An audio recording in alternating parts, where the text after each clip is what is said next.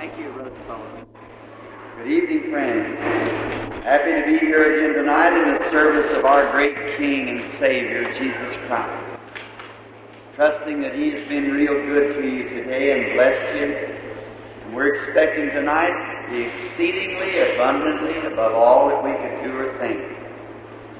It's kind of good to be up here tonight. My wife tells me down home it's fixing snowing down there, so I think I'll just stay up until high. Just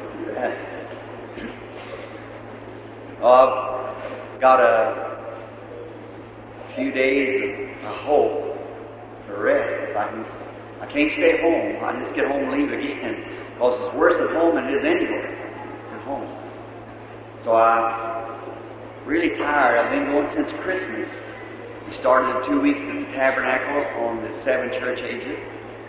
Left there and went down Shreveport, Louisiana, married to Arlington, Texas, or beg your pardon, Beaumont, Texas, Phoenix, Arizona, Tucson, Arizona, Long Beach, Visalia, California, now Tula, Tallow, California, then back up to Richmond, Virginia, and then over here. And I got a just about gone when it comes physically speaking. But outside, feel strong, but the inside is where it just get tired. Can't think right. But I believe that God will bless our efforts as we try to serve Him. The Lord bless you. I hope it don't freeze you, but I'm glad to turn that off it's a little so noisy. Can you hear me better now? That's good. Somebody get some nails and fix this for us today? I hope so. I sprayed it was going to fall off last night. I had it kind of propped down here a little bit. Now we're going to approach the Lord tonight, His Word rather, upon a prophetic subject.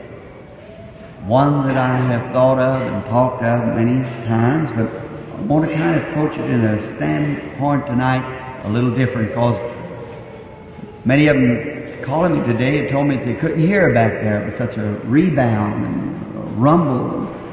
You, you don't get the word too well. That's the essential part, is to get the word because after all, it's the word that counts.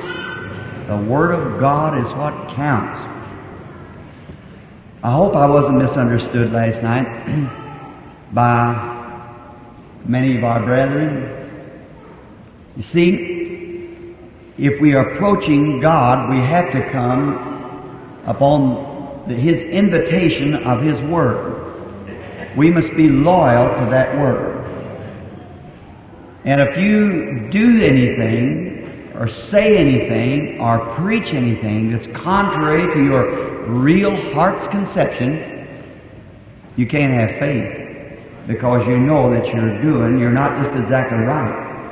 You've got to do just exactly the way you think is right and say just what you know to be the truth. If you don't do that, you can't have faith yourself. And your message will never get to the people because it can't be anointed. Because way down in this little buzzer down here, you're thinking something different than what you're saying up here. That just won't work. You've got to really be honest. And Hebrews, the 10th chapter that I was referring to last night, see? For if we sin willfully, see, after we have received the knowledge of the truth, there remaineth no more sacrifice for sin. And what I was trying to place, if you can hear me better tonight, those people had a promise of God, Israel. Can you all hear me now? Raise up your hands, all that can hear me. Good. Those people was promised of God the promised land. But when they got to the place to take over the promise, they doubted. And then they went back and died in the wilderness. Every one that disbelieved that promise. Is that true? Raise your hands. See. Everyone died. There's only two that believed it. Joshua and Caleb. And the only two of that entire two and a half million people that got to go in the land because they believed it. Now, the Old Testament is the type of the New, while I was typing it together. Today, spiritual Israel done the very same mistake that natural Israel did. And when they come up to the real place, you have passed a school of theology out there. Just exactly like they did in Exodus 19. They can't accept it. If it does, the organization puts them out. I had ministers before me today. Fine man. The Assemblies of God is one of my great supporters. The Church of God, a supporter. The Four Square, a supporter. The Oneness, a supporter. The Two-ness, a supporter. The United Pentecostal, a supporter. Pentecostal Holiness, a supporter. And some of the finest Christian ministers there is on the face of the earth is in them organizations. I don't pull any punches with those brothers. They're my brothers and they're a man of God. But the system, not the man, not the people, but the system winds them around and separates them from other brothers. They cannot do this when the system that they're under won't permit them to do it. That's what I'm against, brethren. I wouldn't want you to misunderstand it. I know that that's God's truth, and I know the thing has to die. Every type, shadow, and even the Scripture itself proves it. Therefore, I love my brethren in the assemblies and in all the other churches, the oneness and two-ness. I've never made any difference amongst the people, what organization they belong to. As long as they're born again and filled with the Holy Ghost, they are my brothers. And I've tried to stand right in the breach and say, you are my brothers. Tonight, a meeting like this in the city, when I've got one man sponsoring me, Brother Sullivan. As far as I know, that's true. When we all ought to be together. All the churches. That goes to show I'm just as much your brother here in the pulpit tonight as I was your brother out in Chautauqua. I'm the same person. I haven't changed. I just got the same message. I love you just as much. No matter what you ever do to me, that doesn't make me feel bad towards you. If it does, then I'm wrong too. And if I get up here and that really lays sin to the uh, and unbelief and things to the viewing line, just to be different, brother, I'm an unfit subject for this sacred place. I'm worse off than the man that's in scriptural error. Because I'm an error myself by trying to show off or do something that's different. If I don't do it from a godly conviction with brotherly love in my heart, I'm wrong. And that's the way I do it, my brother. I've got to face sick people, demon powers. How can I have faith when I'm up against something in, that, that I really do not believe? And trying to say, yes, it's all right, let's go ahead. I can't do that. It's just not my makeup. I, I, I wasn't made that way. The Holy Spirit won't let me be that way. I've got to be just what I am. And everybody knows me that way, and that's why I want to know everybody, just what you are. Be just yourself. As Congressman Upshaw said one time, you remember him, was healed a meeting going after a cripple for 70, 66 years. He said, you can't be nothing that you hate. And that's right. Quicker Christians learn that, better off you'll be. The bootleg joint won't hurt the church so much. No, it's the man in the church that professes to be something that he ain't. That's what it is. That's the person. It's true. Now, so you'll clearly understand from last evening, when they walked up face to face with the promise of God behind them, that all these things were for them, and failed to believe it and wanted to go back again and start up their same old things like they was, God let them wander right there in that wilderness till every one of them died.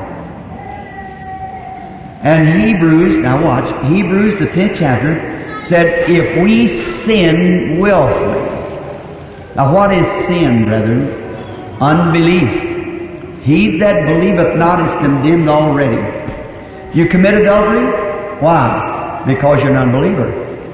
You steal, lie, cheat. Why? Because you're an unbeliever. That's right. A real true believer doesn't do that. See, he doesn't do it because the Holy Spirit in him, if he happens to even make a mistake, the Bible said also the worshiper once purged has no more conscience of sin. He that's born of God does not commit sin. He's not an unbeliever, he's a believer. The Spirit of God remains in him, he cannot sin. He can't be a believer and unbeliever at the same time. You're either a believer or not a believer. Now listen to Scripture. The man or woman, it comes to a facts of the Bible, comes up against the scriptural doctrine. Minister, whoever you are. Now, I say this with godly love. And you see it and know it is the truth and turn away from it, there remaineth no more sacrifice for sins, but a fearful looking for the judgment, the fiery indignation, which shall devour the adversary. He that despised Moses' law, when they offered the little lamb, took the little fellow and plucked its little uh, throat and held its head and feel it quivering, dying, and the blood going out in the charger, and that was stood on the as the prayer went up on the brazen altar of sacrifice and judgment, the altar of judgment, brass speaks of divine judgment.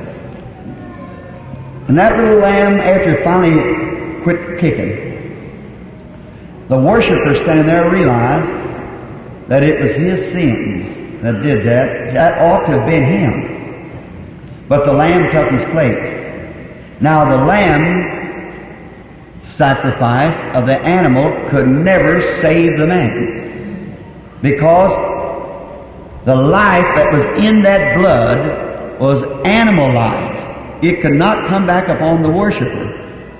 So sin was just covered. It was a, just a, to wait till the real lamb come. It was an act of faith showing that a real lamb was coming.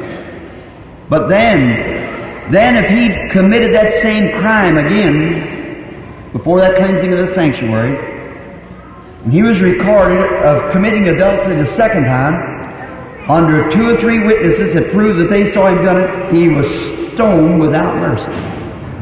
No matter if he's a preacher, if he's the mayor of the city, who he was, he died without mercy. Hebrews, I'm looking at it. Hebrews 10th chapter.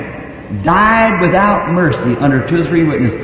Of how much sore punishment suppose ye, now watch, though worthy, being a minister, whoever you might be, professing the Holy Ghost, who has trod underfoot the Son of God and considered the blood of Jesus Christ as an unholy thing. How much more punishment when you put your hands on the feet of the Lord Jesus and feel the pains and things that He died for you and confess Him as your Savior. It isn't an animal life there. Neither was it a man's life. It was God's life. And that spirit that was in him comes back upon you and makes you a son of God. And if you walk up to face these facts, see, for if we disbelieve willfully any scriptural thing or whatever it might be, if we disbelieve willfully, say, what do they say? We can't take it. They're too big for us. We can't. If I have to step out my organization, if I accept that, they'll turn me out. I won't have any place to go. Nobody to back me up. Who wrote the Bible? Your organization? Who's responsible for the Word? Your organization? God's responsible for His Word. God will take care of His own. God will back you up. Any man that ever amounted to very much in this life were a man who stood alone with God. That's the way if you ever stand, you'll have to stand. Now you walk up and say, like you're, like you'd be a Methodist. And you walk up and it said the baptism of the Holy Spirit on the day of Pentecost. And you see that that's true, how the power of God fell upon those people. And you say, I, I know that's the truth. But if I accept it, they will turn me out of the organization. They will. They sure will.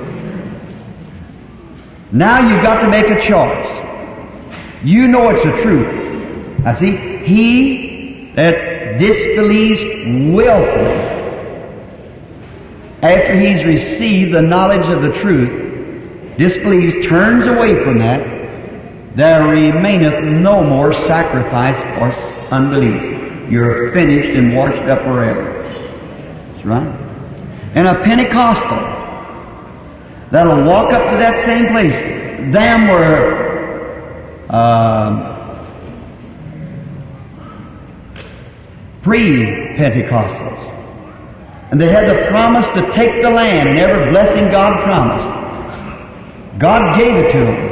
But because the opposition was so great, they turned back and lived in the wilderness for 40 years instead of facing the facts. That's the same thing that Paul's speaking about here in Hebrews 10. Do you understand now? Now that's scripture, my brother.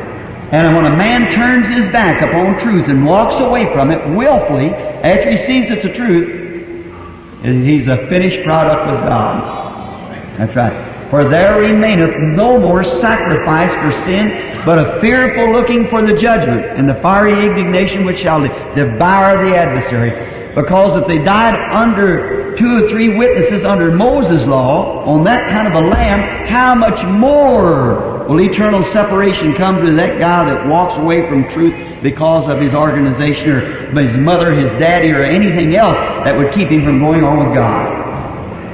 I hope you understand it. If, if I hurt you, I don't mean to. I'm just presenting a truth that I know is the truth. I had to face that, brother. And I know what it means. And I, I faced it. And the devil told me I'd starve to death and everything else and I'd be an outcast and the, my pastor said you'll be a holy roller and you'll lose your mind and be in the insane institution. But it was God's Word. And I faced it and received it. And I've never regretted it, but thank God for the Holy Spirit that led me to it ever since. And I've stood alone since then. Let us pray. Our Heavenly Father, we thank Thee for every gracious word that's written in this Bible. Seeing that we are compassed about with such a great cloud of witnesses, two and a half million people dying and perishing in the wilderness of unbelief, and only two that believed was permitted to go over. Father God, I pray you to help us to see that and, and look to what it means. Let us not be disbelievers in thy word, but may we be not only hearers, but doers of the word. Grant it, Lord. May out of this little meeting I felt led to come here to my brother and to these fine people that's here in this city. And I come with the message that you put on my heart. Now I can only sow the seed, Lord. You have to be the one to give the increase. And I pray that the Holy Spirit will water those seeds until it'll bring forth a union among brethren, among organizations in this city, in this community, until they, it'll send the gospel light across the world. Grant it, Father. Help us tonight now as we further go advancing forward in faith into Thy Word through Jesus Christ our Lord. Amen. I've got a little subject here that I have preached on it, but I want to take it in a prophetic way tonight. It's found in Genesis 22, 14. I want to begin. And Abraham called the name of the place Jehovah Jireh, as is said to this day, in the mount of the Lord it shall be seen. Jehovah Jireh, the Lord will provide for himself a sacrifice. Now, this is on the life of Abraham, which is the father of us all. Now, how many know that we have to be Abraham's seed or we'll never get to heaven. We have to. Is it possible that we become Abraham's seed? How? Only one way in the world forever to become Abraham's seed. That's receive the Holy Spirit. Now we just went through that in California, back and forth and back and forth through the mark of the beast and the seal of God. The only way we'll ever become Abraham's seed, because that gives us Abraham's faith. And Abraham never received this promise while he was in circumcision under the law, but when he was under grace before circumcision was ever issued. Therefore, it's not nothing that we could do to merit it. It's God's grace that gives it to us. By faith, Abraham believed God and it was imputed to him for righteousness. The law was what man wanted, not what God wanted. Now, we want to start in Abraham now, and I want you to listen real close if you can. And by the way, was the any anybody give give out prayer cards? I, I forgot to ask him. Uh, is there prayer? Where's Billy? Was the prayer cards given out? Yeah. there was prayer cards given out. Okay. All right. Then we'll perhaps pray for the sick at the end of this little service here. Now, let's begin with Abraham and find out what Abraham was and how do we become his seed. And then if we could really get thoroughly based upon the word of the Lord, then we, it takes all the fear away from us if we know what we are doing. How would you go out and pick up, you gentlemen, young men here, would you walk out on the street and pick up a woman and marry her just because you walked out and picked her up she's a woman? I don't have much thoughts of your conception, if you but see, first you've got to know something about her, where she come from, her character. That's with the woman to her husband. The same way, you must think of those things because it's your lifetime companionship. And this is our eternal life with God or be totally separated and annihilated in hell. It's one or the other.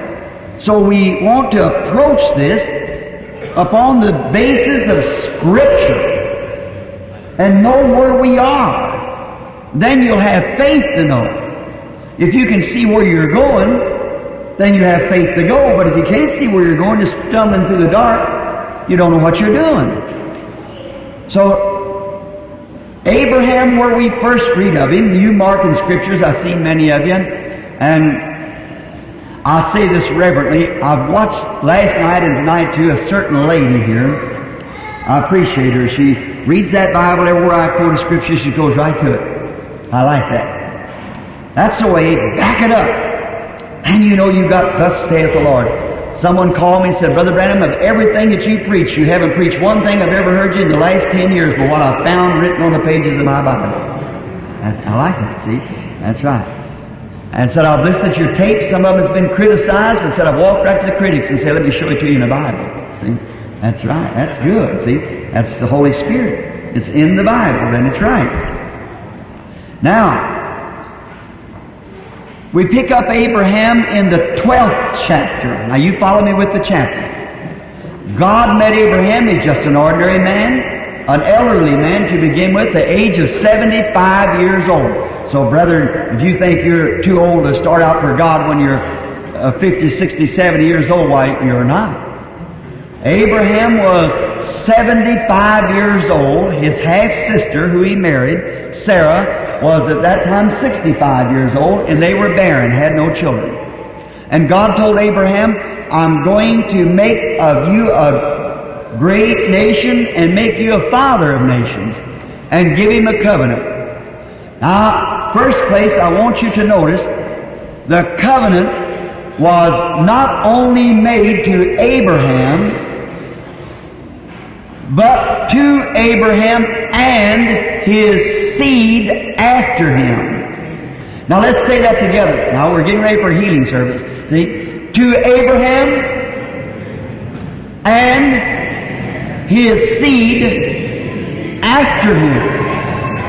See? Now what God did for Abraham, He does for His seed after him. Now I'm going to prove that to you tonight with the Bible. And surely that'll settle last night for you. See? Notice.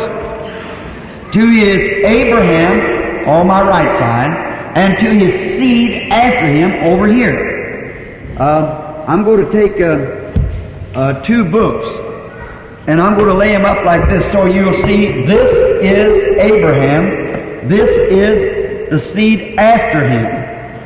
Abraham and the seed after him, God, what He did to Abraham, He swore to Abraham and his seed after him. Now listen, close, don't miss this. Whose seed you are, if you are dead to the things of the world and been made alive in Christ by the Holy Spirit. For we which are dead in Christ take on Abraham's seed and are heirs with him according to the promise. The Bible.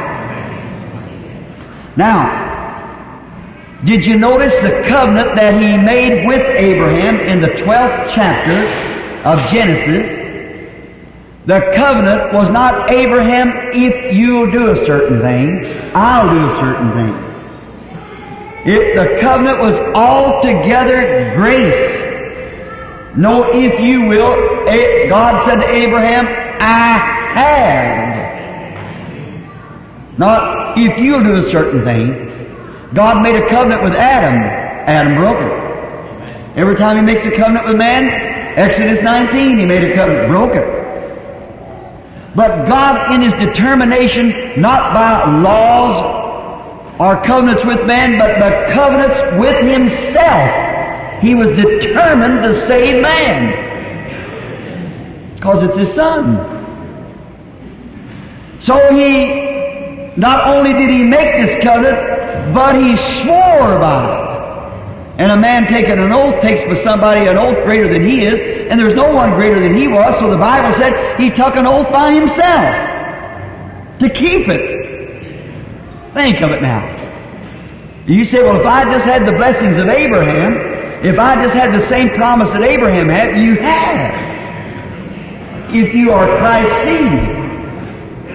If you are dead in Christ, you receive the Holy Spirit, you are Abraham's seed because Christ is Abraham's seed. You see it? That puts the inside of us working. Faith in God. Now, to be Abraham's seed, you would never back up at a promise of God. You'd always keep God's promises. You let that be truth no matter what anything else was. That's what Abraham did. No matter what anybody said, anybody said, that's nothing. God said so and that settles it. That's why Abraham's seed, look, how are you Abraham's seed? Let God's word be true and everybody else is a lie. God's word. So therefore, you see, if you come to it, profess to be Abraham's seed, and turn away, it's impossible. You turn yourself from God, and there's no more sacrifice left for your unbelief. You're finished. See? Now, he made it to Abraham, not Abraham, if you will do a certain thing, I'll make a great nation of you and make you a father of nations. He said, I have done it. Remember, the promise was altogether grace and no law mixed in it at all. Not any ifs at all. It's absolutely God's choosing of Abraham. Now, even if you don't agree with some of this, just, just give it prayerful consideration. Now you see, it isn't what you done, what your desires are. It wasn't Abraham's desire, he was a heathen. It was, he come down from the Tower of Babel, down in the uh, valleys of the Shinar and the uh, land of the Chaldeans in the city of Ur. And he was, he was just an ordinary man. And nothing Abraham done, not even his desires, but God, by grace and election, chose Abraham. That's why he chose you. Not nothing you done, what he done. I remember to Abraham and his seed. If you think that you become a minister or a Christian because people talk good about you, or you join church to stay in the society, or this is the biggest church in the city, you're just fooling yourself. That's all. You're a miserable person when it comes to Christianity. God chooses by election. Romans, the ninth chapter, eighth chapter, said that the election of God might stand sure. Esau and Jacob, before either child was born, had a way to even uh, make a decision what they were going to do. God said, I hate Esau and love Jacob. Because God knew what they were before the world was ever formed. God chose you in Christ before the world ever come into existence. The Bible said so. Put your name on the Lamb's Book of Life. Not when you come to the altar, but before the foundation of the world he did it. The Bible said so. The Antichrist in the last days, so religious, even Pentecostal, till it would deceive the very elected if it were possible. Billy Graham said the other night in his message, he said, the devil is so roaring about till he's absolutely deceived the elected. I thought, oh, oh, Billy, you made a mistake there. Uh, you can't deceive the elected because they're secured with Christ. The Bible said that this Antichrist would be so close that he would deceive the elected if it was possible, and that what he would do in the last days he'd be so close now he would do that. And he said he would deceive all upon the face of the earth, Revelations, I'm quoting, whose names were not written in the Lamb's Book of Life from the foundation of the world. That's Abraham's seed. God's choosing, not yours. God's. God chose you. You never chose God. God chose you. And put your name in the Lamb's Book of Life. When was the Lamb slain? 2,000 years ago on Calvary? Not in God's sight. He was the Lamb slain from the foundation of the world.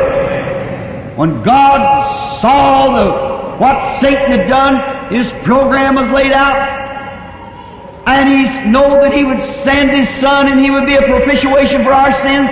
And in the mind of Jehovah to conquer and peak his people, he slayed the lamb in his own mind before the foundation of the world and put your name on the book as redeemed. Glory! That's what he done. God did that. And what are we scared about? Not if you will, I have. Then you'd say in divine healing, Brother Branham, will God heal me? You're Abraham's seed. He has healed you. Will you lay your hands on me way Brother Roberts does? That don't have nothing to do with it. Just a point of contact. Watch the man's own sermon. Say, put your hand up on the back of the seat behind you. Now the seat ain't got no healing in it. See? It's your faith in a finished work that you're already redeemed. He was wounded for our transgressions. With His stripes we were healed. Brother Branham, will I get healed tonight? You're already healed. God sent the Holy Spirit. He sent your pastors and they preach the Word. You listen and He sends gifts of tongues interpretation, sends prophets and prophetic gifts and everything trying to draw you to the place. The pastor can't heal you. The speaking in tongues doesn't heal you. The interpretation doesn't heal you. The prophet doesn't heal you. The other gifts doesn't heal you. It only points you, if it's a true gift, it only points you to where you were healed. For you're the seed of Abraham. And you were already healed and saved. And that's why the Holy Spirit knocking at your heart. All the Father has given me will come to me. That's right. Now that's why we preach the gospel. That's why I put forth these efforts. That's what other ministers put forth their efforts. Is to try to swing out that big net draw it in and see what is what. I don't know. The other ministers doesn't know. We're just saying Him. The kingdom of God is like a fisherman went to the net, took a net, went to the sea and cast it in. When he pulled in, he had frogs, turtles, serpents, spiders, and fish. Watch what happened. The influence of the gospel catches many. And just about the first week after, the old serpent said, Now look, if I'm going to have to do all this other stuff, give up my cards, my tobacco, right back to the water he goes. Mrs. Water Spider sits there and she looks around. She says, Huh, you mean I can't have my clubs and do these things there and I have to take off my makeup, let my hair grow out and take off my shorts and huh, plop, plop, plop. Just a hog to its waller and a dog to its bond. Now, what was she? She was caught in the net, brought up to the altar, he was too. But he was a snake to begin with. He was a spider to begin with. The net had nothing to do with it. It only pulled him up here. And the fish was a fish to start with. Okay? That's exactly right. My sheep hear my voice. See? Or some of them are smart and educated and shrewd as they can be. That has nothing to do with it. It's humility and the Holy Spirit guide and leading. And He'll never lead you one word from that Bible. He'll keep you right in line with that Bible. That's right with the Bible. When you see a scripture, and you see here and here and here and here, and you ask your pastor about it, he says, Oh, that was for another day. If you're a child of God, you won't believe that. No, sir. When it said Jesus Christ the same yesterday and forever, works that I do shall you do also. You see what he was? See the promise here? The pastor said, Oh, that's nonsense. There's nothing to that.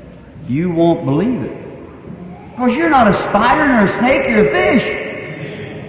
See? There it is.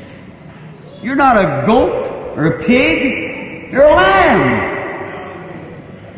And the dove cannot light on nothing but a lamb. It's the same nature.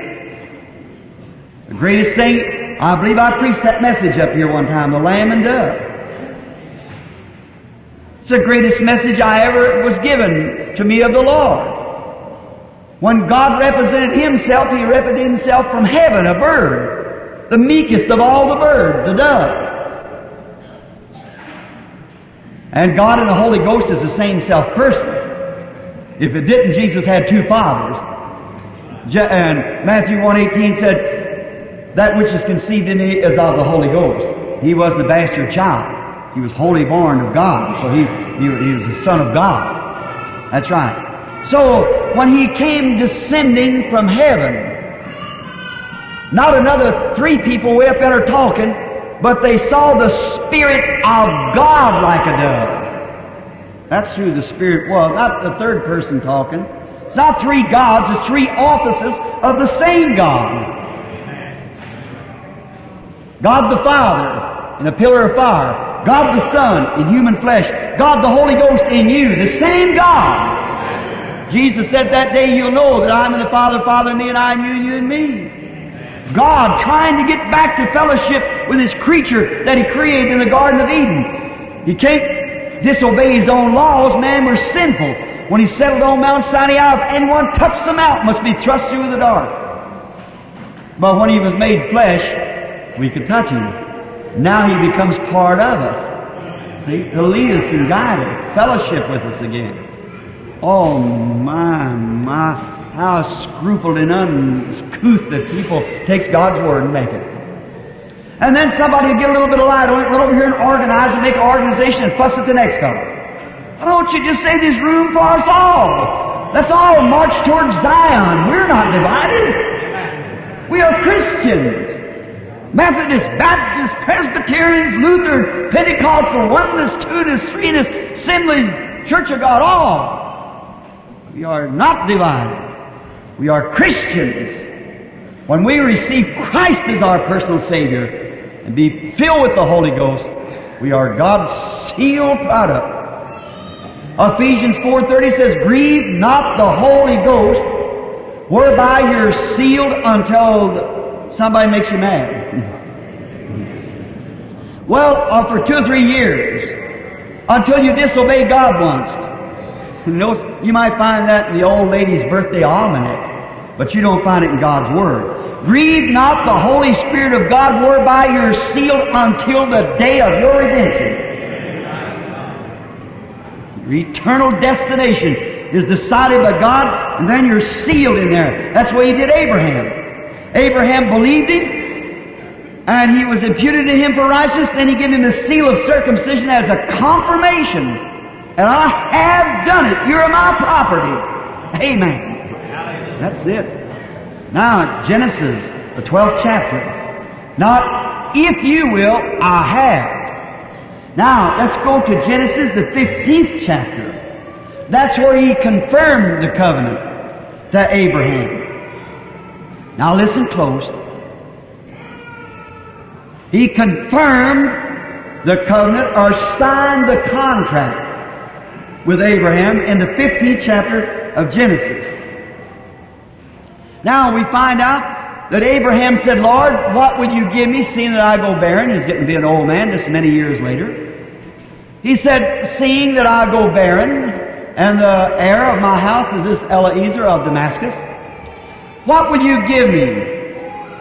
And God told him to take a she goat of three years old, a heifer of three years old, and his sacrifices and the sheep three years old, ram, and to go up and he split those sacrifices open and took a pigeon and a turtle dove. Can you hear me say amen? Amen. All right, I'll be, I want you to get this now.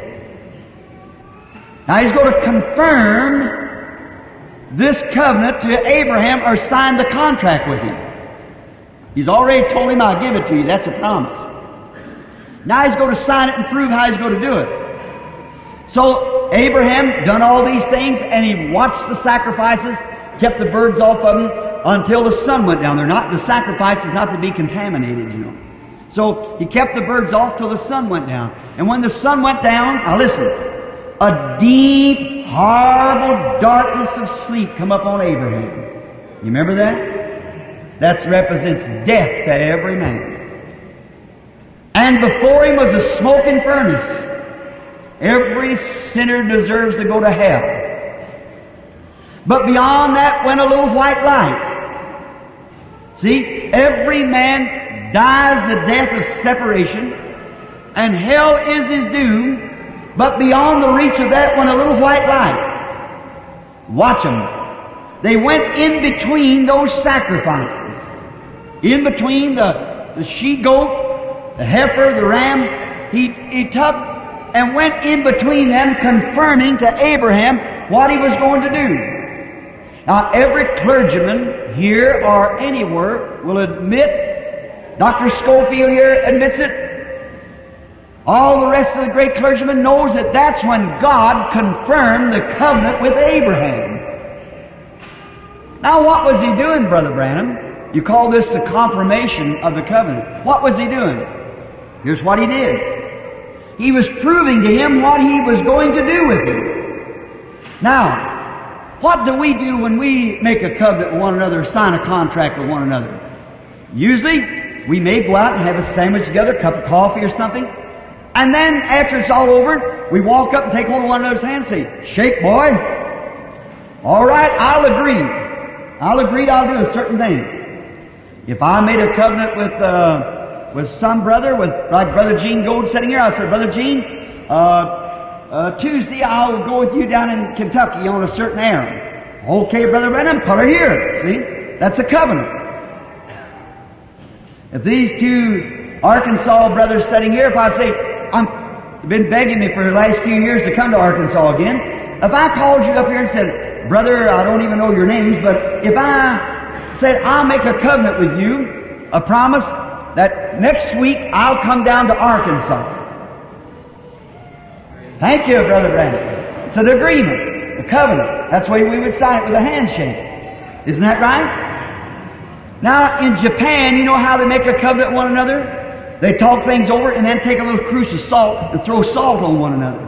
That's salt's got life. You see, it contacts holes. Salt keeps. And that's why they throw salt on one another. Jesus said, Ye are the salt of the earth. And when they make a covenant one another, they throw salt on one another. That means that their covenant must keep. Salt holds them together. Keeps it from spoiling. Nothing can spoil our contract. It's a covenant. Our handshake is fellowship. We agree upon the basis of fellowship that we'll keep our covenant one to another. Salt will keep our covenant because it will not mar or spoil.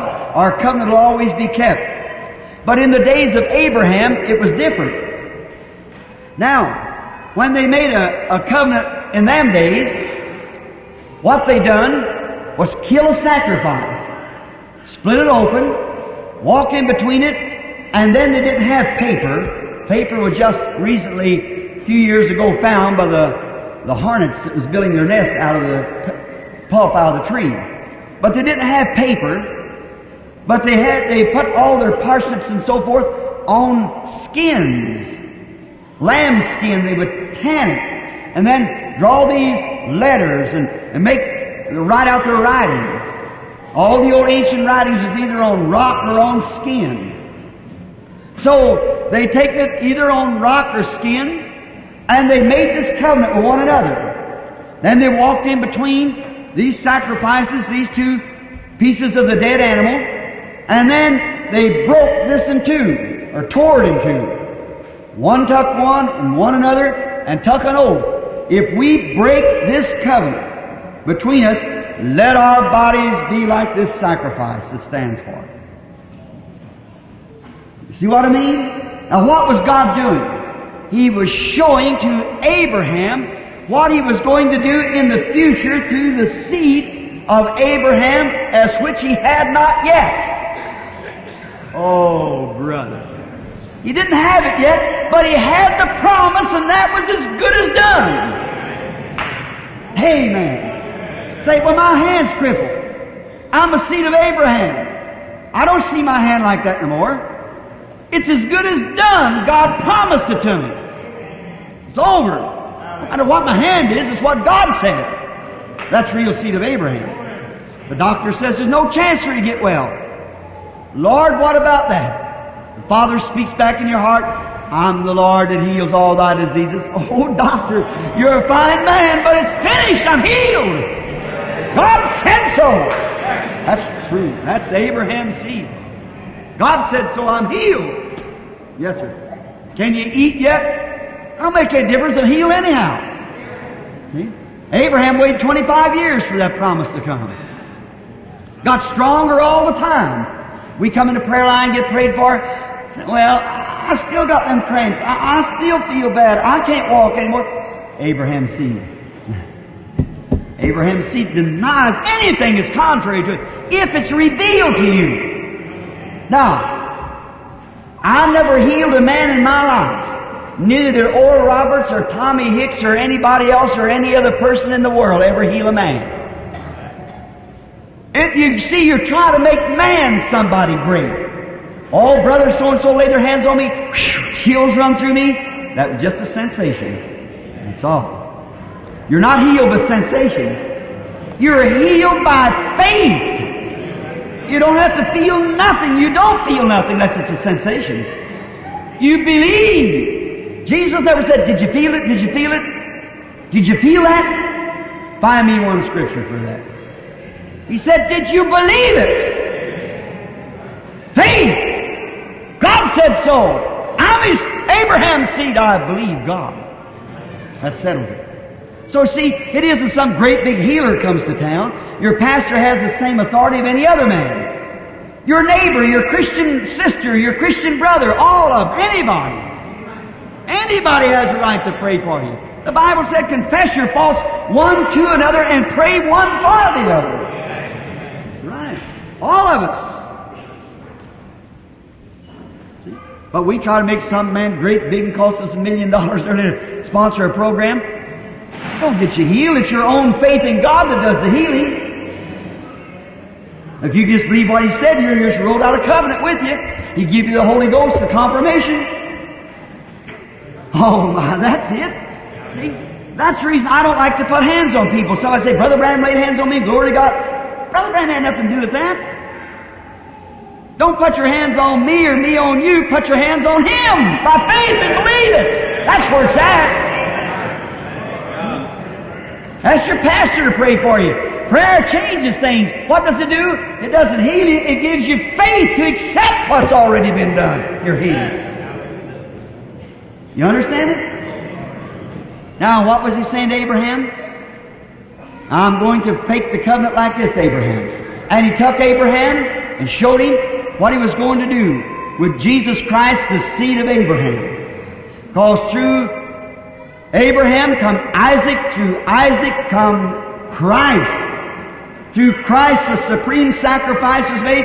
All these others was natural seed. Israel, Israel, Israel, Israel. But through Christ opened the veil to either Jew or Gentile, Greek, bond or free, male or female, that we all might enter into the Shekinah glory, which is only for Jews alone, but now it's for whosoever will. Let him come, let him come. That was the seed that God was talking about. What did he do with that seed? He took him to Calvary. He tore him apart. He died under the judgments, the divine judgments of God. We all know that as Christians. What did he do? He raised, he tore his soul from his body. His spirit, his life went out of his body. Water, blood, and spirit came from his body. And on the third day, God raised up his body and set it on his right hand in heaven and sent the Spirit out of that body back to us. Then, you see what he was doing? A denomination. If you're depending on that, you're lost. There's only one thing that'll ever, when them contracts come together, them letters, the way that was torn, they had to dovetail every letter and every piece of torn, teared sheepskin or rock had to dovetail right together. Nothing could substitute it. It had to be just exactly the same in the confirmation of this. If they brought another piece and tried to make it, uh-uh, it wouldn't blend in with it. It had to blend just exactly the way that was. And when the church is redeemed and rises in the resurrection, we are the bride of Christ. I'll say that readily, hoping we are, believing we are, by faith we are. The bride of Jesus Christ will have to have the same spirit in it that the other part of the contract had when it was here on earth. You see what I mean? God confirmed. Then the same life that was in Jesus will be in His church, and the church will be doing the same things that Jesus did. He that believeth in me, the works that I do shall he do also. And how could an unbeliever see the works of God and calls it Beelzebub mental telepathy or see the works of our Lord? How? It's, it's all smart, educated, sure, but a million miles away from the things of God. See? He confirmed the covenant in Genesis, the 15th chapter. You get that out there, each one of you now? Genesis, the 15th chapter, he confirmed the Word. And remember, listen now, he never confirmed it to him until he completely obeyed God. And he won't confirm it to you till you'll completely surrender everything. Now, I want you to keep these in mind. Our little Amish sister or Dunkard, Mennonite, whatever it is there, you get it, I hope. Now he confirmed the word. Now, let's go again. Oh, we could just stay on here for hours, but we haven't got the time. Now let's go to Genesis, the 17th chapter. All right? When he gave him strength. Now, in Genesis 17th chapter, the first verse, God appeared to Abraham as the Almighty God. Abraham was 90 and 9 years old Sarah was 89 years old. And since he was 75 and Sarah 65, they've been waiting for this promise, getting stronger all the time that God was going to do it. Never moved from what they believed. That's the way. Now he seen, God saw that he was determined to hold on. Oh, blessed be the name of the Lord.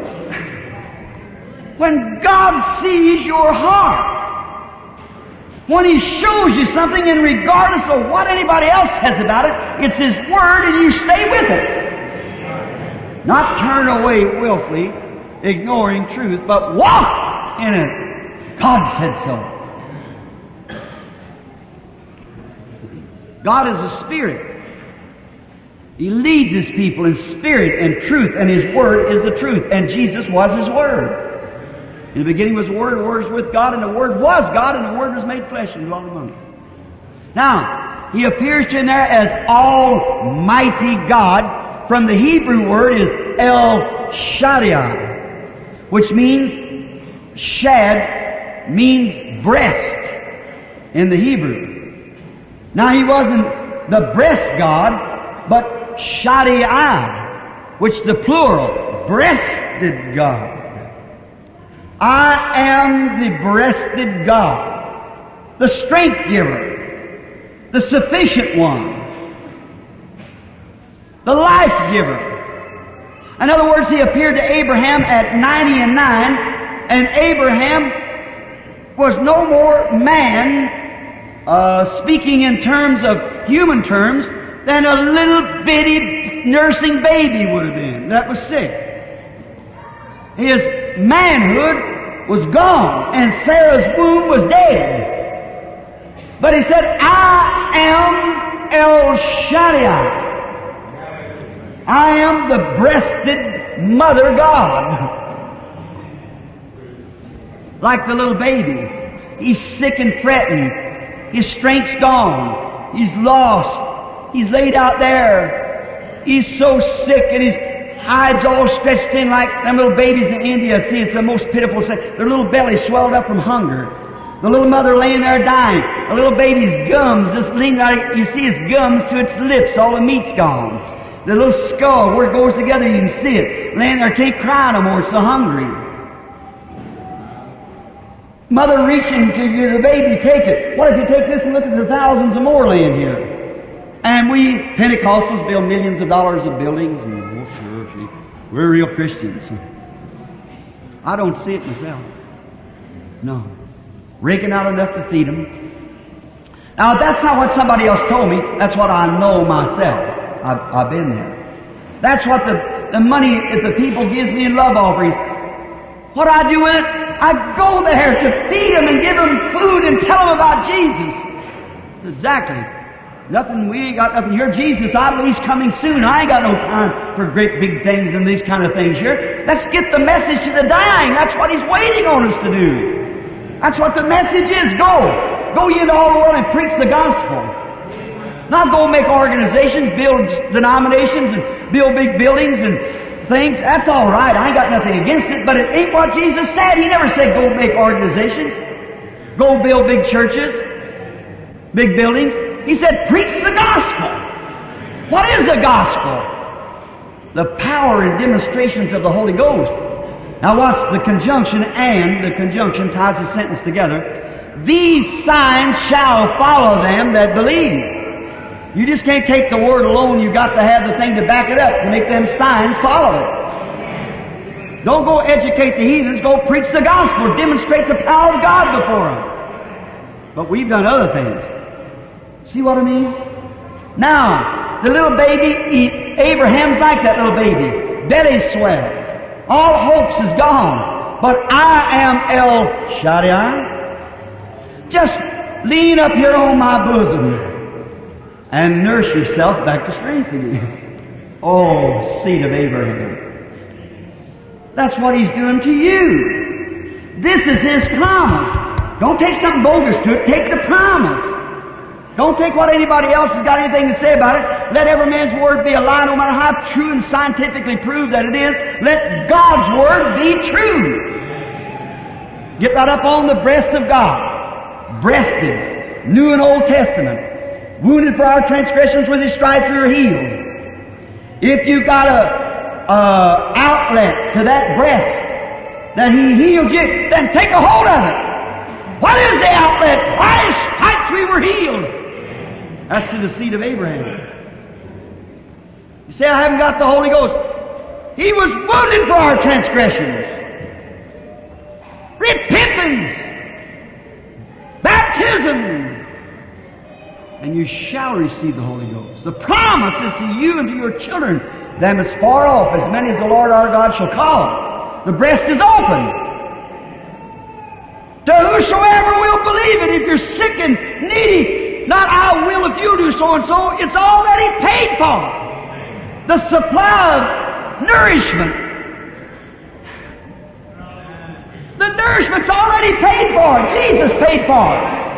I'm the breasted God. Come whosoever will, Methodist, Baptist, Presbyterian, and all.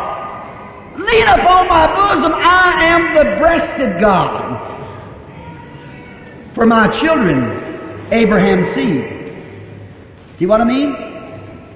And the little baby, not only is he a breasted God, he's a satisfied. The little baby take hold of its mother's breast. I hope that's not too plain for the mixed audience. But the little baby take a hold of its mother's breast. It's not only drawing its strength out of the mother, but it's satisfied while it's doing it. he knows that's his mama. Hallelujah. And a man or woman that can lean upon God's bosom. That's my Father who created heavens and earth. He made me, He made me a new creature after He made me a creature of time. Now He makes me a creature of eternity. He was the one who gave the promise. I'm satisfied. I don't care if my stomach's hurting, my head's are hurting, my hands is this way or that way. I am satisfied. I'm nursing from the promise of Almighty God. That's His promise. That's His Amen. Strength giver. Die. You're going to die. Oh, I don't want to die. I don't want to die. Oh, I don't want to die. I'm crying. The first thing you know, a still small voice through a sermon, through reading the Word, through in prayer somewhere, I am your healer. I am El Shaddai. Oh, is that I was wounded for your transgressions. With my stripes you were healed. Oh, what will I have? Nothing. Nothing. It's already all. Only thing you have to do is accept it. Well, if I'll if I'll uh, uh, rejoin, if I'll leave the oneness and join the assemblies, or join the leave the assemblies and join the oneness, will you will you not nothing to do with that? That has nothing to do with it. You don't have to join nothing. He's already witnessed your his shout. Lean on my bosom, just keep nursing. Oh, doctor comes and said, well, doctor, you know, I want to tell you something. I want to pay you for your scientific service.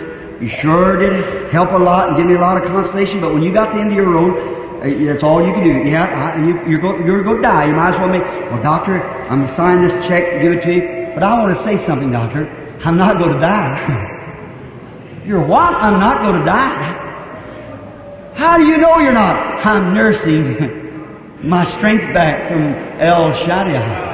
I'm, oh, they go out and say, let them alone. They, they won't hurt them. Just let them alone. They, will not, it's all, they're going to die anyhow. But you know what you're talking about. Lay right there. How do you know? It's a promise.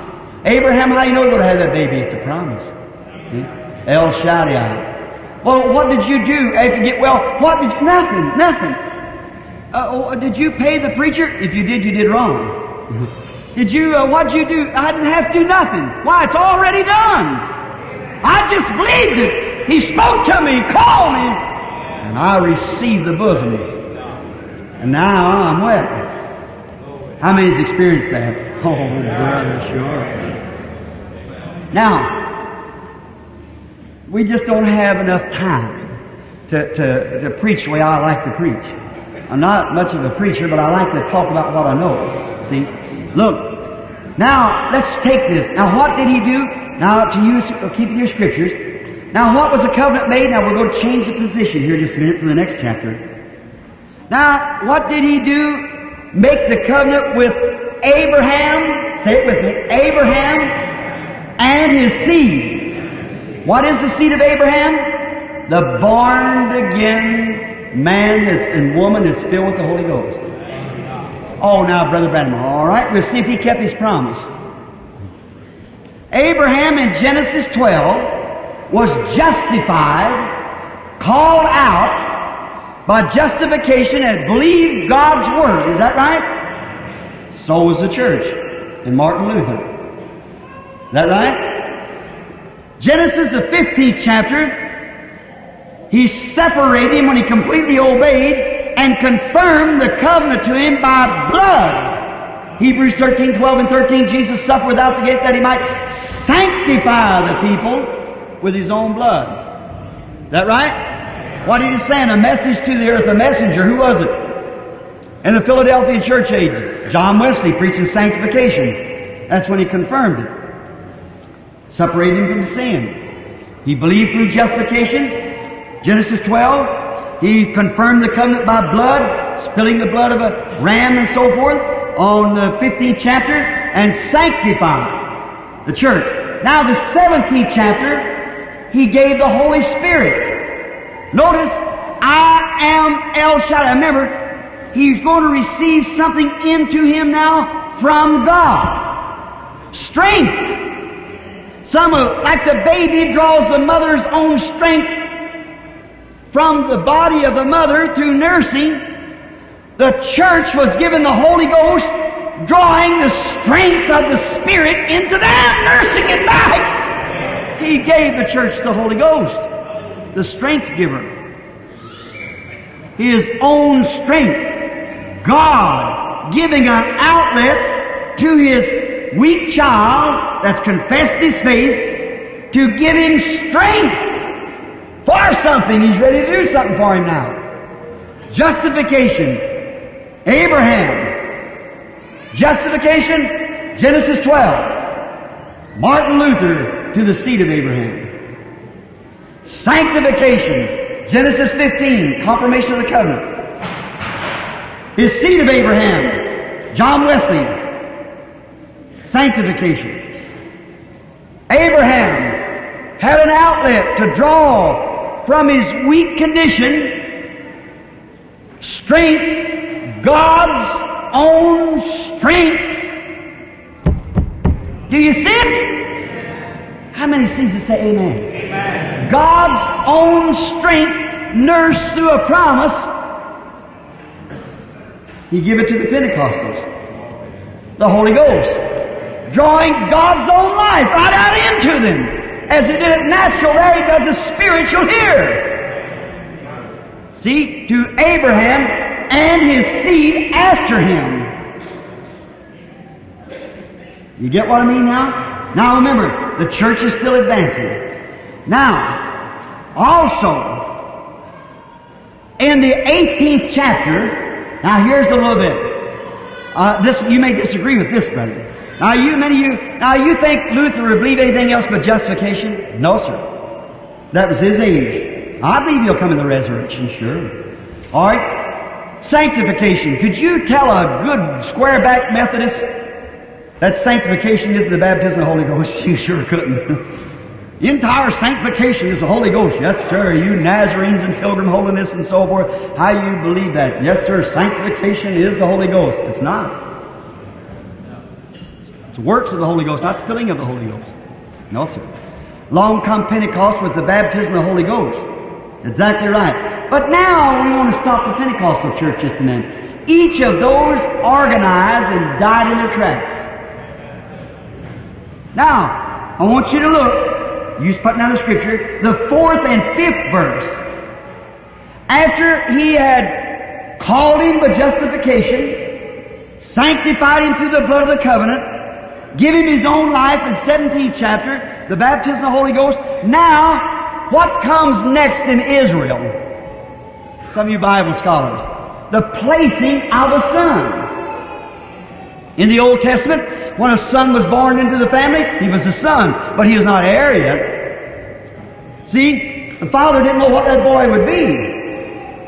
Is that right? So he had a tutor over him to raise him to a certain age, and then to you ministers, the placing of a son. God did the same thing in Revelation, in Matthew the 17th chapter.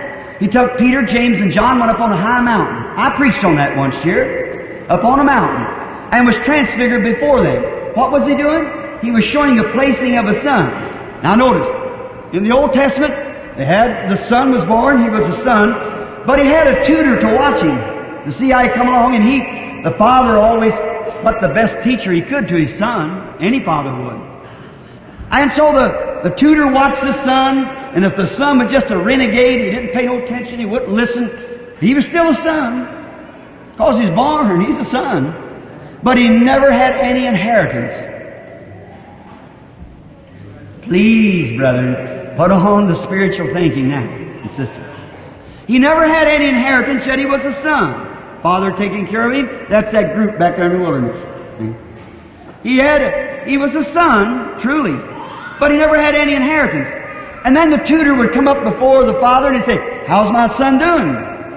How he must have blushed and said, he, he, he, uh, he isn't doing too good. See, he hired a man that was just and honest, that not a straw in his hat, or feathers we call it, but he was telling the truth.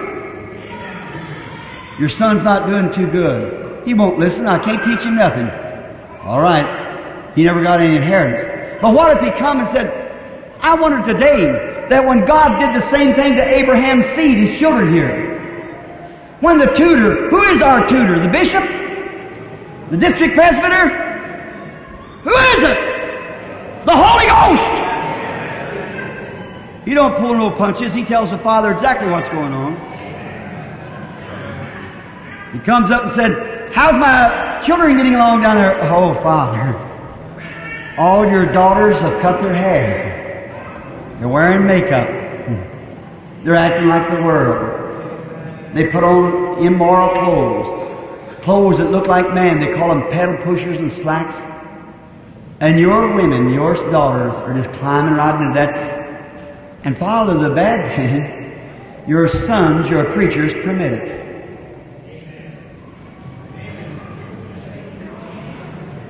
Oh, yes, sure. They permit them. All the things that you taught because they're afraid. How the father must feel. He can't take them any farther. They're his children. He has to take care of them. Oh, what a, a burdened child that is. Well, why don't they do it? Well, they made themselves an organization. They kind of cuddled themselves together like they did to build the Tower of Babel. Yes, Father says it'll come to the same kind of an end, too. And they built themselves a tower that they thought through their organization they could draw the whole world to them.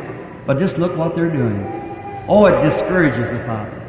How he must feel, embarrassed, how the Holy Spirit must feel to take that word to glory. See how the church is getting along. How that they're accepting man-made doctrine instead of the Bible. The truth presented right to them and they turn their back and walk away from it. There you are. Because their organization don't believe it. Yet they know it's the Word of God. No other scripture in the Bible but that. If it's truly the Word of God, it'll be from Genesis or Revelations. It'll be the same thing. They accept sprinkling instead of baptism. They do all these other things. All kinds of creeds and everything else. How a father must feel. Hmm. He can't give that son nothing. But what if he comes up and says, but there are certain ones, I'm telling you, they are really your sons. I don't care what takes place, they stand for what you say. They're, they just act like it. That man just exactly acts like he, he, he, he says the same thing you do. If the hard servant is doing a certain thing, he don't care. It's his father's business. I must be about it. He tears it up and says, You shall not do that to my father. My father said so and so, and you've took the commandments of God and made them a tradition of man. No such a scripture in the Bible for such stuff as that. Oh, so that's my son. Yeah, then he really believes my word, just like Abraham. So he's Abraham's seed, truly. So, now what did the father do? Then he took a certain day after this son was proved. Now Pentecost thought as soon as you was born again, got the Holy Ghost, that's all it was. You just got started then. Watch what he did to Abraham. Then what did he do? The father taking the child out, and he made a feast. Now, all you Bible students know this. Made a feast, set his son up in a public place, put him on a nice robe, and set him up there, and performed the duties of adoption. Or placing. How many knows that's true? Say amen. Bible. Go back in Galatians, the fourth chapter, and pick it up there. Paul talking about. He placed that son. What did he do? He had a ceremony of adoption. Placing that son. And then after he's seen that son was going to do it, he's going to keep the promise. Nobody's going to keep him from it. He's just like his daddy. He's going to stay right with it. Cut and let the chips fall wherever they want to. He pulls no punches. And he said, I can put trust in that boy. So he form, performs adoption, and what does he do? After he's performed the adoption, that child is a place son then in the, the Father's kingdom, and has co-equal rights to it. In other words, if they wrote a check, his name is just as good on the check as his daddy's was. Then he's adopted or placed. God did the same thing to Jesus upon Mount Transfiguration. When what did he do? He overshadowed him, taking him up in a public place, taking three witnesses, Peter, James, and John, brought through witnesses from heaven to show three is the witness. And when he overshadowed him, and his raiment, his pretty robe he put on him, a glorified condition, shine like the sun in his strength. Is that right? And a voice came from heaven and said, This is my beloved Son. Hear ye him. Amen. I place him positionally. That's my son. What he says, I back up. He's kept my words. He's fought through all these denominations and everything else and kept the faith. He, he's pulled no punches. He, he's been true. He's always about my word. When people look at him, they see me. This is my son. Hear ye him. Did he just promise that to him? No, through him come the seed of Abraham but the same thing. Fourth and fifth chapter, God took Abraham out and placed the adoption upon him and changed his name. Lord. From Abram to Abraham. Abraham comes from the word of Elohim, God's own name. He associated his name with God's name. God is Elohim. How many knows that? The great Jehovah Elohim, the all-sufficient one, the self-existing one, Elohim. And what did he do? He took the H-E-M off of his name and placed it onto Abraham's name because he was Abraham. God is the father of all, and Abraham is father of nations. Glory! Elohim, father of all. Abraham, father of nations. Placed him positionally. Lord! That's after his church received the Holy Ghost. After they went through the testings. See, Pentecost missed that. They organized themselves and they couldn't get any farther. Then when God does a certain thing, say, ah, stay away from it. See, our church don't teach that. Go ahead, but here's what he done to Abraham. To Abraham and his seed after him. Now, we're in Genesis 18. Still in the 18th verse. Now let's watch. Then, he take him after he did that. Now that's the second thing he done. First thing, you give him justification, 12. 15th, you give him sanctification. 18th, you give him the Holy Ghost. At the end of the, watch it quickly now. All these others took years. Are you listening?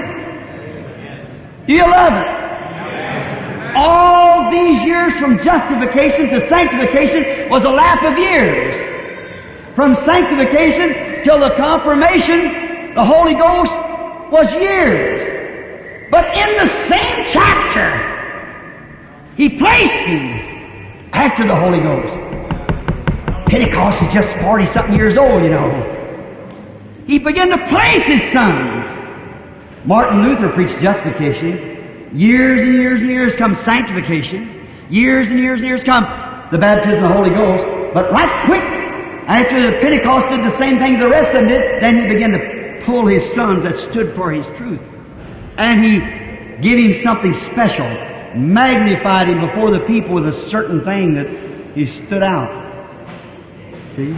Placed him. Now, then in the same chapter, he gives him a sign, gives the Pentecostal church a sign of the end time. After Abraham had had his name changed a few days, been placed then as Elohim associated with God.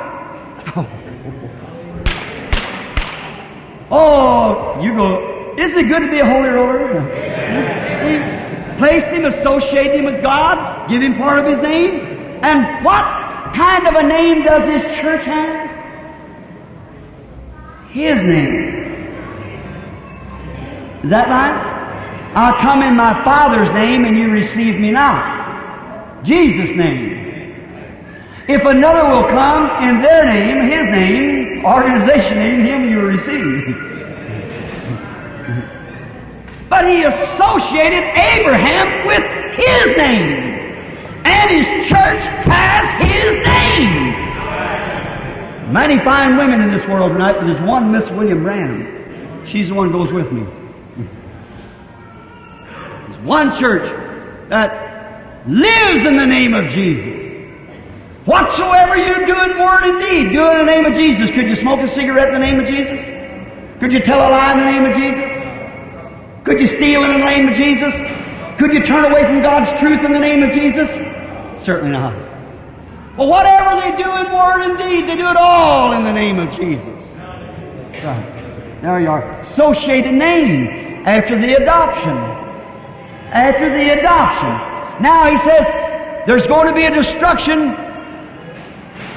Sodom's going to burn. And I know I'm getting late, but I just got to stay with this just a few minutes longer. Because tomorrow night I don't want to say something else.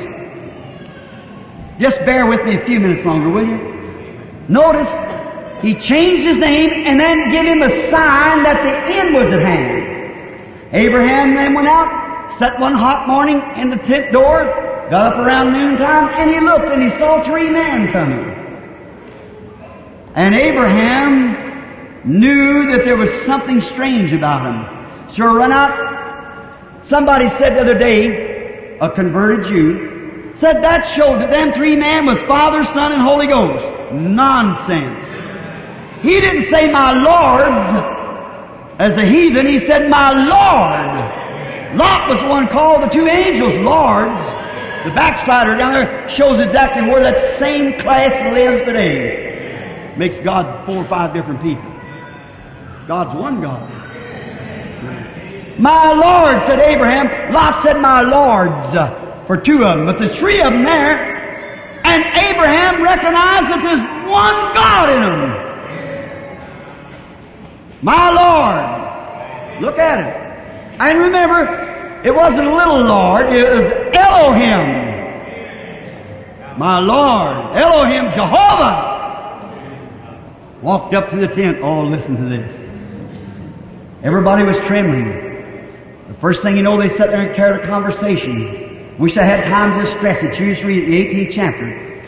How they sat there. Now wait, what's he doing? He's showing to Abraham this, what he's going to do to the Abraham seed. Now what was he on the road? After Abraham, after he had been justified, sanctified, filled with the Holy Ghost and types and shadows, and had been placed, then he came and he was giving a sign that the end was at hand. He come down to destroy the wicked, sinful world of Sodom. Is that right? Now I remember, Jesus said, do you believe him? Jesus said, as it was in the days of Sodom, so shall it be at the coming of the Son of Man. Now there was, they stood and talked. Watch, two angels, two angels went down into Sodom to preach the gospel. Is that right? Two angels went down in Sodom to preach the gospel. A modern Billy Graham, preaching to them sinners and so forth. No miracles he done. One miracle, smiting blind, preaching the gospel, blinds the unbeliever.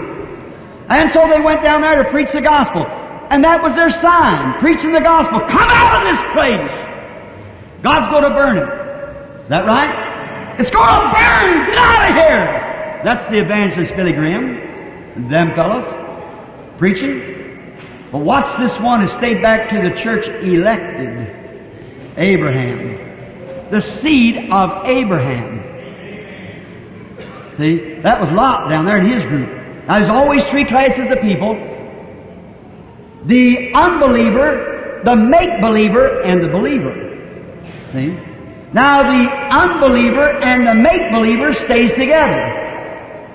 But the real believer separates himself, what makes him the church. You follow me? Now, all those big organizations down there and all of them cooperating had great time. And some people laugh at Billy Graham. Let me stop here just a minute. Say, a man that's influenced like Billy Graham so many people, why isn't he Pentecostal? He can't be. Has Billy Graham got a part in it? Yes. You spiritual people, wake up now just a minute. Put your thinking on. What is his name? G R A H A M. I know you think that's crazy. Just wait a while. H A M. Abraham. See? He's got a message of repentance. And there's nobody you can get can smear one thing on that man's message. He's got repentance down to the key. That's right. He preaches it like a house on fire. See, that's right. God called him to do that. He's going where? Not to the Pentecostals, but to that denominational groups out in that mess out there with Sodom makeup and all kinds of women going around shorts and choir singers and, and deacons married three or four times and pastors the same way, all that kind of nonsense out there. Go on out, preach it, Billy, stay with it. He can't do nothing else. But I remember there was one of them who stayed behind and brought a, a sign to Abraham. That right? The elected church, not the big bright lights, the big nerve centers and the great flowery things, the great programs and so forth. It was one who stayed behind with Abraham. That right? And he gave him a sign that the time was at hand. Watch what he done. I remember, as he did to Abraham, he does to his seed also. Watch Jesus confirm it, saying it will be that way. Now watch. The angel was sitting, not angel, it was God. He was sitting with his back turned to the tent. And he said, now isn't this strange? Abraham, just a few days before that his name was changing. Here was a stranger. How did he know his name was Abraham instead of Abram? Where is your wife Sarah? Not S-A-R-I, Sarah, but S-A-R-A-H, S-A-R-A-H, Sarah, her prince's name. Abraham, where is your wife Sarah? How did he know he was married? How did he know his name was Abraham? How did he know he had a wife? And how did he know his name was Sarah? Now watch. The Bible said, Abraham said, she's in the tent behind you. She wasn't like the modern women, had to take the husband's place and be a policeman on the street and every little place. And no wonder they ain't going to work for man. That's right woman took his place. This is a woman's nation, you know. She got a woman's number, a woman's name, everything else, and she is a woman, and a woman will control her. That's right. She stayed in the tent. She kept herself awake. Strange man was around. And he, listen, here's the reason he called him Abraham. He said, I, a personal pronoun.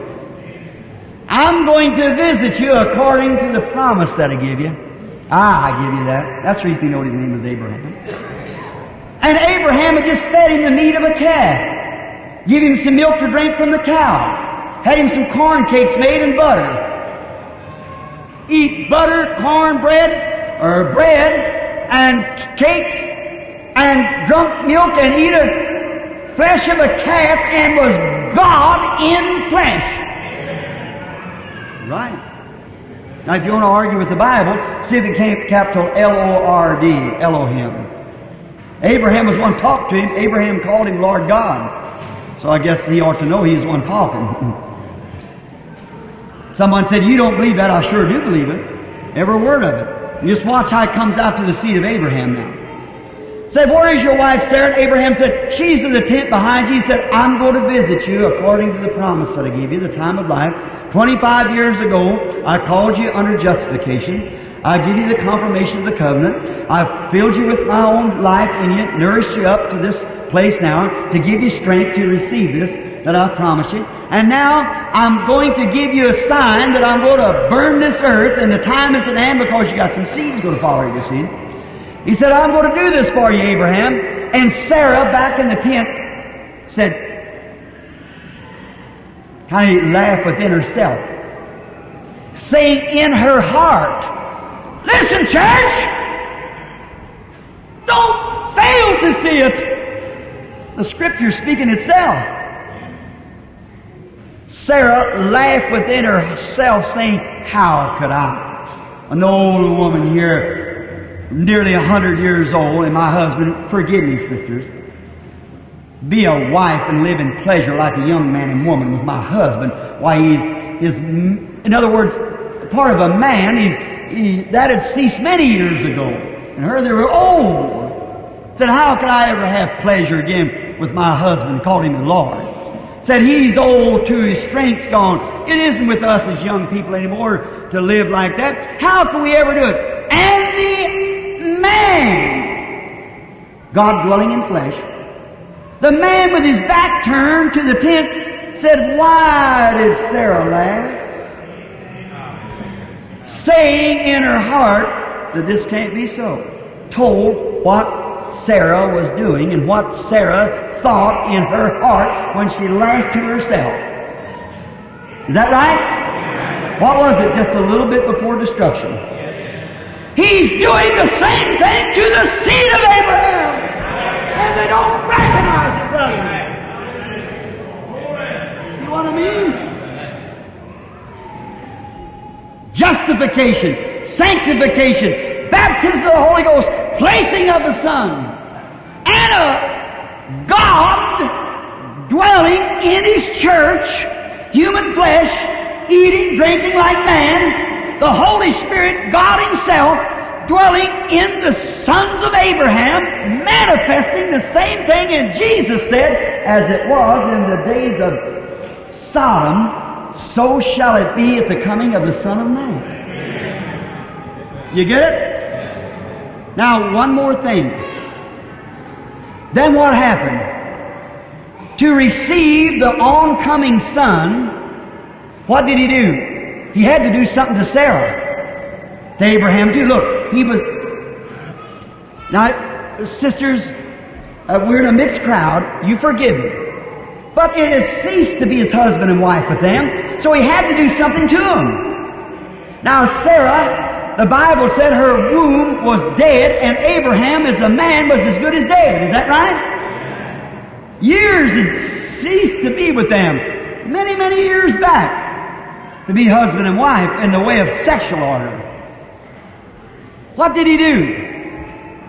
Now, if he, we know he had to do something to Sarah, cause her womb was dead. He'd have to make her womb fertile. Is that right? Well, women didn't smoke cigarettes in them days, so they had to raise their bottle, up, their baby on cow's milk from the bottle. They had only one way to raise them from the breast. So her, an old woman like that, God had to make milk veins there. They done dried up.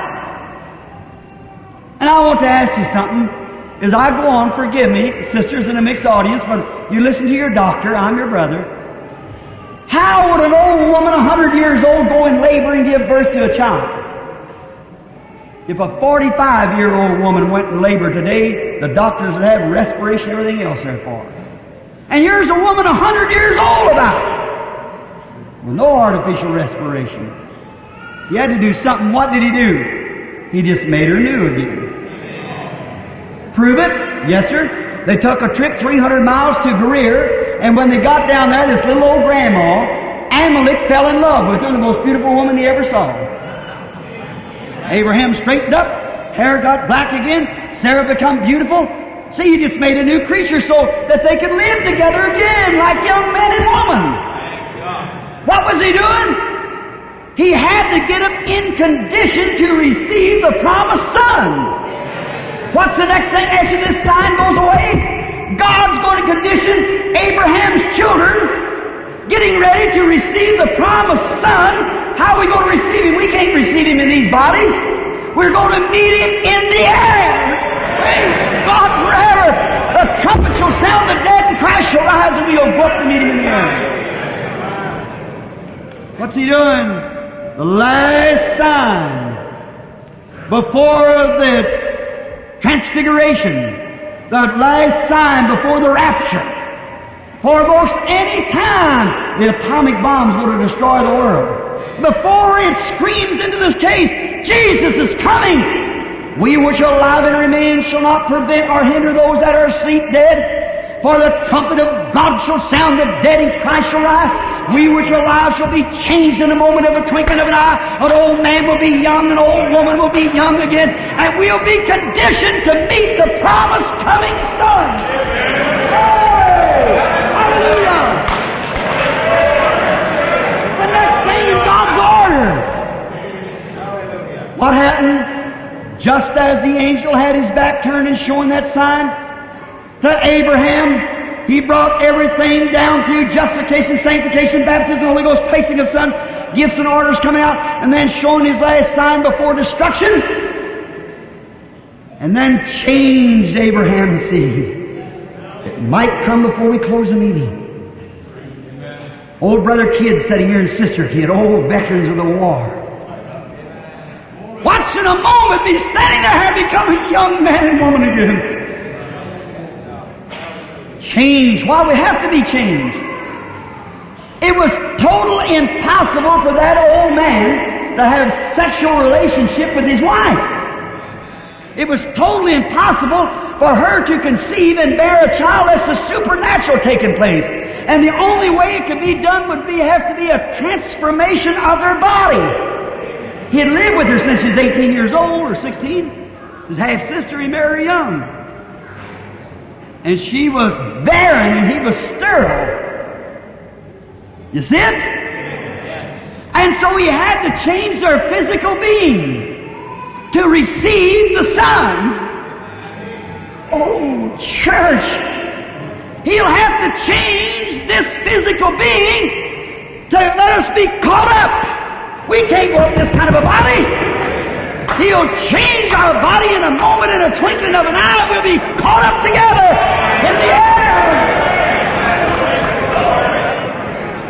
To meet the Lord in the air. We can't go up like this. We see every sign, justification, sanctification, filling of the Holy Ghost, the placing of Son, the last sign being given. Amen. Do you believe it? Oh, I, I'm just going to have to cut it off here. I can't go on. Let's bow our heads. Church of the living God. God be merciful. Don't you want to break away from these old sound barriers here and be ready to meet Him? If there is people who isn't ready to meet Him. And you know, if the trumpet would sound, that you'd still be earthbound here. To go through that great, horrible tribulation like those who was turned out of the ark, they perished in the water. Children, teenagers, there was without mercy.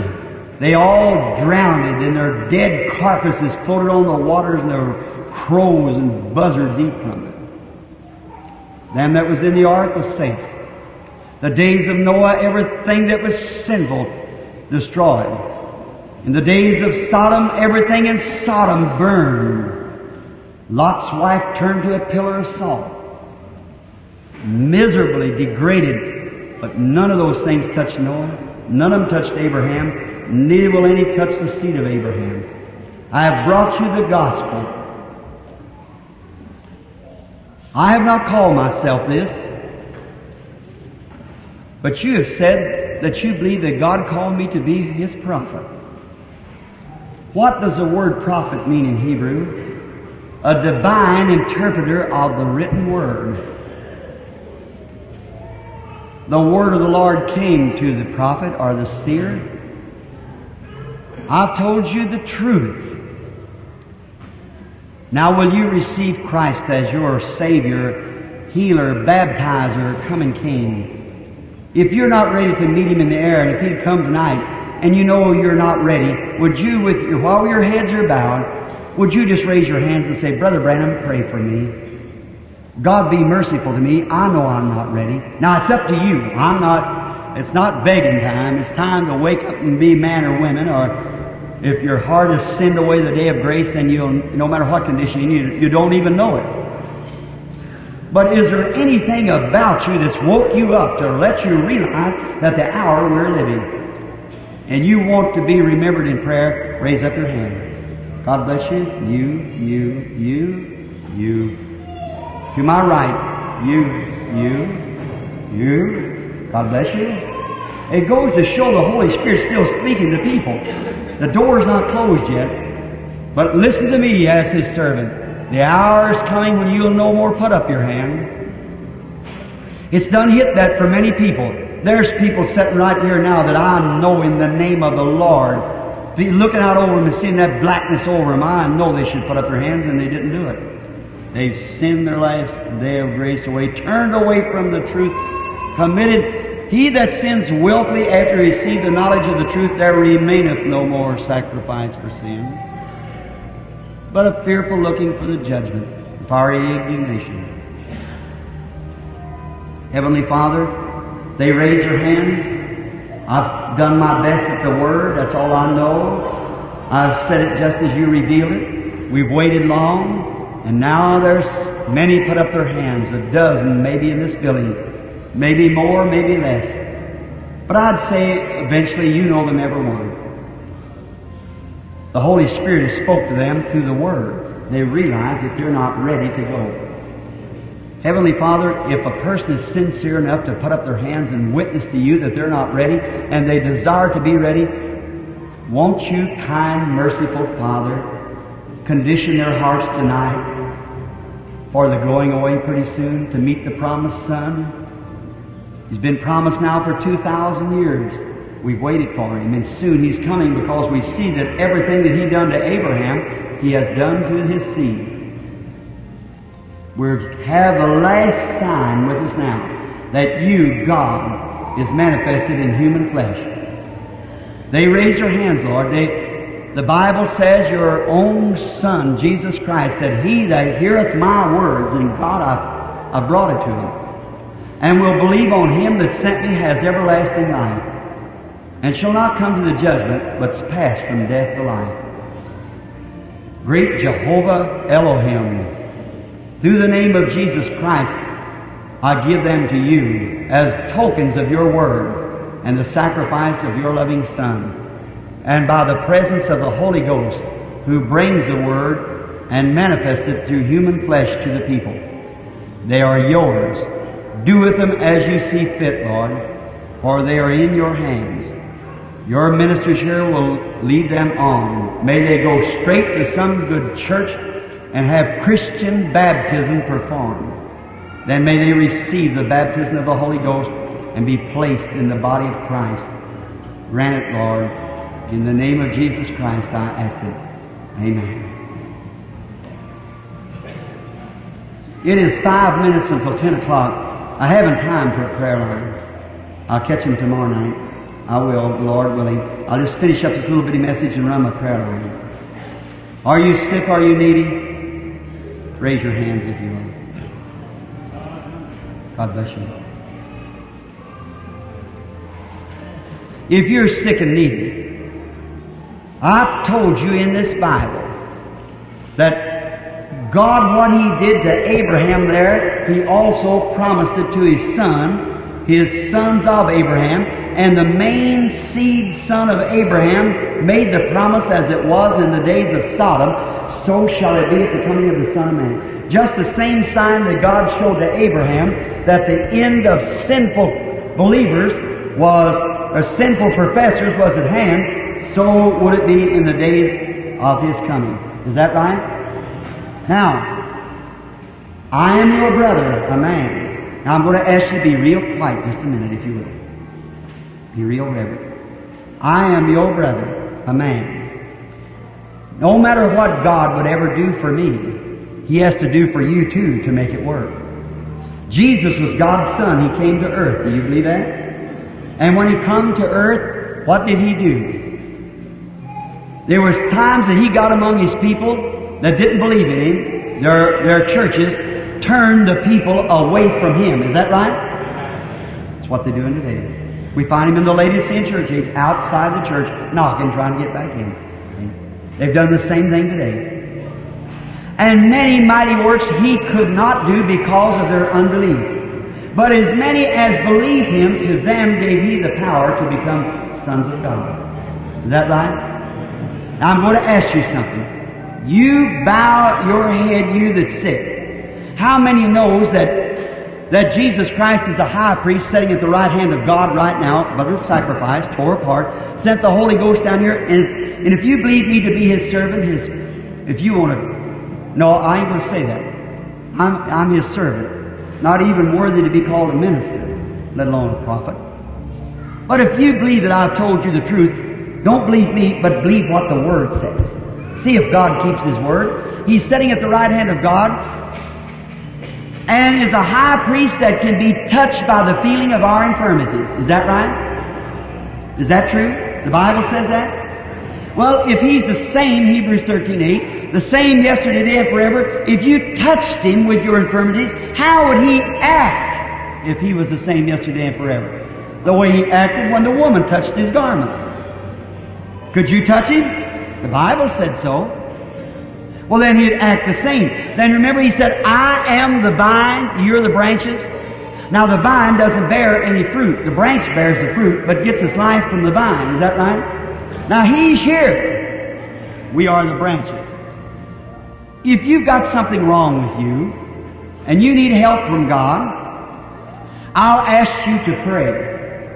And say, Heavenly Father, that little uneducated, dried up man standing up there, bald headed, how? He don't know me. And he's just a man. But he tells me that you're the same and made this confirmation that, and everything that I see, I see that's true. Justification, sanctification, baptism of the Holy Ghost, placing of the Son, giving Him the name, the man taking part of the name of God, Elohim. Now let's see the same sign. We see Billy Graham falling down in Sodom, but this man says there'll be one come to the elected church. Now, you see, brethren, is that scriptural? then believe. And if God says, confirms what I say to be the truth, then it is the truth. You pray. And I'll yield myself. You yield yourself. See what the Holy Spirit will say. Now the Bible said the angel had his back turned to the tent. Now anybody here that knows me Please don't pray. If you know me and know that I know your troubles, don't you pray.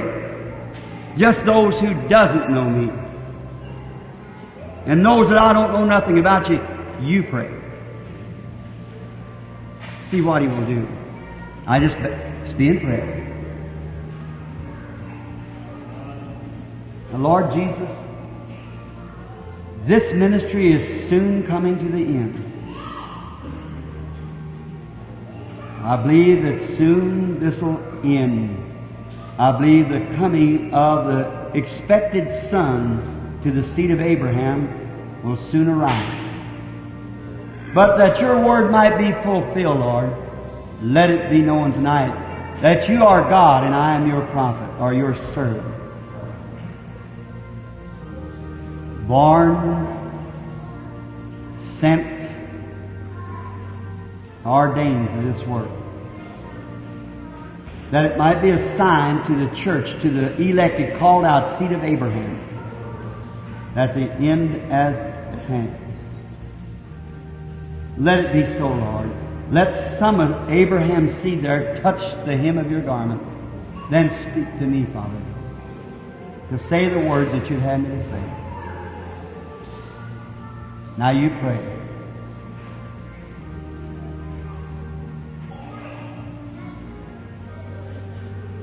Now before me, with my back turned to the audience, there's a woman sitting back in this away. She's suffering with a stomach trouble. She also has had a car accident. She is not from here. She's from Kentucky. Her name is Miss Ellison.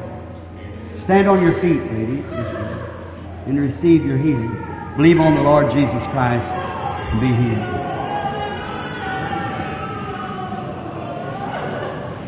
Now the lady, I never seen her in my life. If we're strangers, lady, raise up your hand. The lady that was just healed, raise up your hand.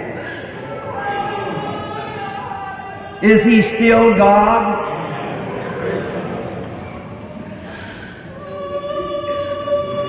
Now, I ask some of the rest of you to do the same thing. I'll turn my back.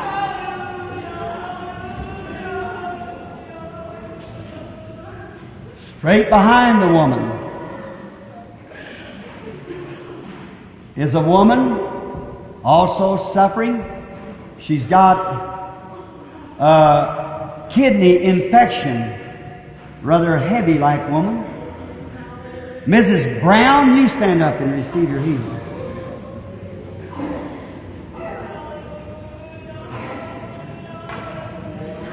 Am I a stranger to you? We're strangers to one another. I didn't know nothing about you. If that's right, raise up your hand, but you were praying. God bless you.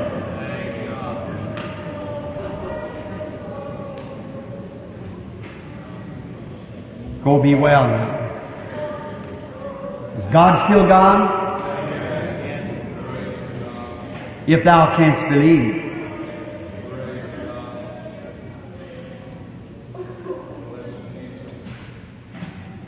Back trouble and kidney trouble. Down the road there, Miss Day, you want to receive your healing. You may receive it also.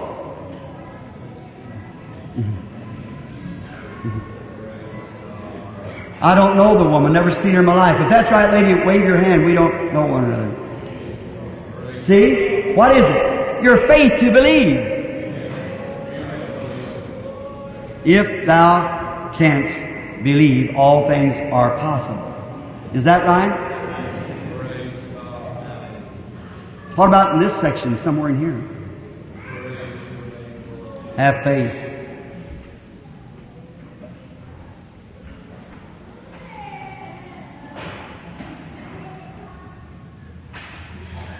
There's a man standing before me. He's had an operation for hemorrhoid. Didn't do any good. Mr. Day, I beg your pardon, Mr. Sharp, stand up and receive your healing.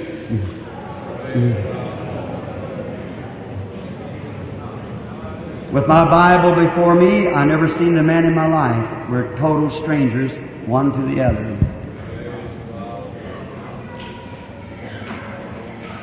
With the growth in the nose back there, Miss Boland. What about you? Will you stand and receive your healing? I don't know her, never seen her in my life. Do you believe with all your heart?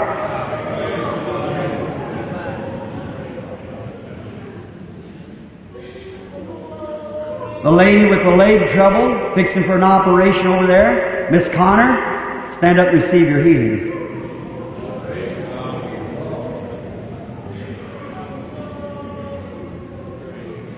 Fallen bladder sitting next there, fixing for an operation. Miss Dixon, stand up and receive your healing. I never seen him in my life, and God is my judge. This is the end time church.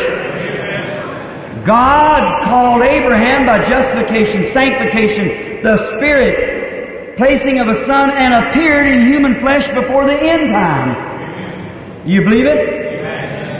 How many of you that raised your hand a while ago now that you want to be remembered in prayer? You've never seen anything like it before. Now you're glad you received Christ as your Savior. Stand up on your feet. You that believes that you're glad you received Christ as your Savior. Stand up on your feet. Every one of you. Now, you're not ashamed of. God bless you. God bless you. God bless you. That's right. Keep. That's right. God bless you. How many wants to be healed now and believes that He's here to heal you? See, I never touched those people. There's 10 or 12 more people, whatever it was, went through the building. I never touched a one of them, but they touched something. This microphone is a mute. There's something speaking to it. I'm a mute too on anything like that. How would I know it? God, they touched God. God spoke through me and told them the very thing that they were wanting. Is that right? Does that make him the same yesterday, today, and forever? Then I ask you, every one of you that need healing in your body, to stand on your feet in the name of Jesus Christ.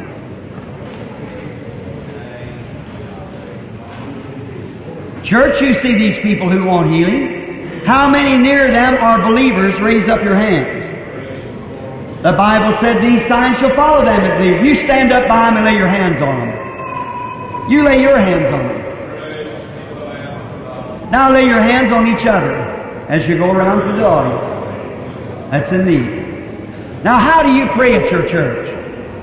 The way you pray at your church, you way you pray to God in the secret closet, pray for that person you got your hands on while I pray for all of you. Our Heavenly Father, it has been a lengthy meeting, but one that no doubt will always be remembered. That we're at the end time and we see it. We're here tonight where we are a people who knows that the time is at hand. There's no nation, no one can keep this, no person can keep it from happening. God said so.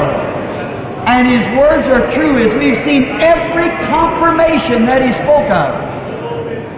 And now, your great Spirit is here in the building, beyond any shadow of doubt. The same God that preached the message, the same Spirit that spoke, is the same one that proved that He's the same one that was in human flesh, eating and drinking like a man, sitting before Abraham, before the end time was for that generation. So is it now, Lord. The end time is here. And these people knows that Jesus, the Son of God, said that these things would reappear again like it was in Sodom before the end time. Lord God, we are without one shadow of doubt. It's here. They are praying for one another. They are believers. They rise to confess their belief. They lay their hands on one another to pray for one another. I condemn the devil of sickness, diseases, affliction, or sin that's upsetting them and the unbelief that keeps them from receiving their healing. I ask God to move back the shadows of unbelief and let the Holy Spirit pour into these children of Abraham from El Shaddai, the great strength giver, and heal each of them as I condemn the devil and set them free in the name of Jesus Christ,